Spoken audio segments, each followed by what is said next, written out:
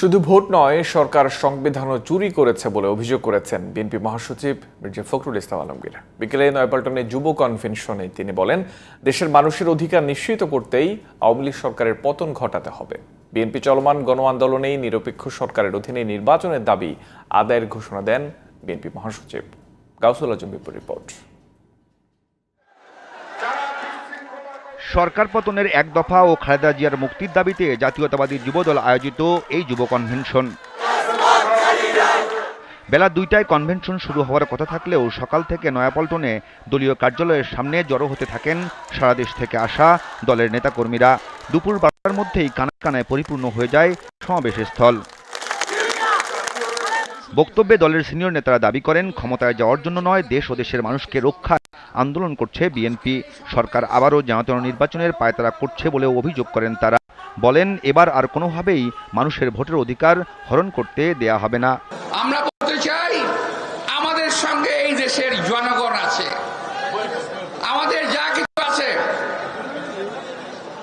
এই সরকার হটানোর জন্য এই জনগণ যথেষ্ট আন্দোলন কিন্তু কয়েকদিনের মধ্যে শুরু হবে ইনশাল্লাহ আপনারা যার যার বাড়িতে ফেরত যাবেন এবং মাথার মধ্যে রাখবেন, চোর বাটপার চিকিৎসা পায়, আমার নেত্রী চিকিৎসা পায় না।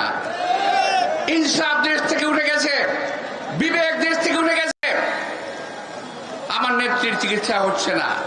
প্রধান অতিথির বক্তব্যে বিএনপি মহাসচিব মির্জা ফখরুল ইসলাম আলমগীর বলেন, এই সরকার ক্ষমতায় থাকলে দেশের মানুষের উন্নতি হবে না, অধিকার বঞ্চিত হবে বিরোধী নেতাকর্মীরা।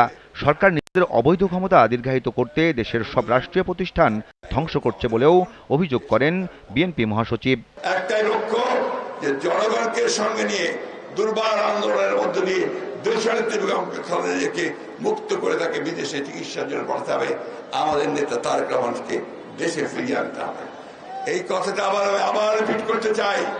আমাদের স্লোগান যেমন, ভোট চোর ভোট চোর আছে না? ভোট চোরের বড় স্লোগান হচ্ছে এখন, এ সংবিধান চোর। এই জনগণের সঙ্গে প্রতারণা করেছে কনস্টিটিউশন করেছে। সুতরাং এর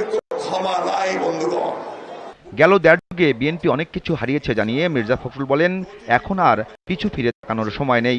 আন্দোলনের মধ্য দিয়েই দেশের মানুষের মুক্তি নিশ্চিত করার প্রত্যয় জানান বিএনপি মহাসচিব। Gausul Azam Bipu Zee TV news Dhaka.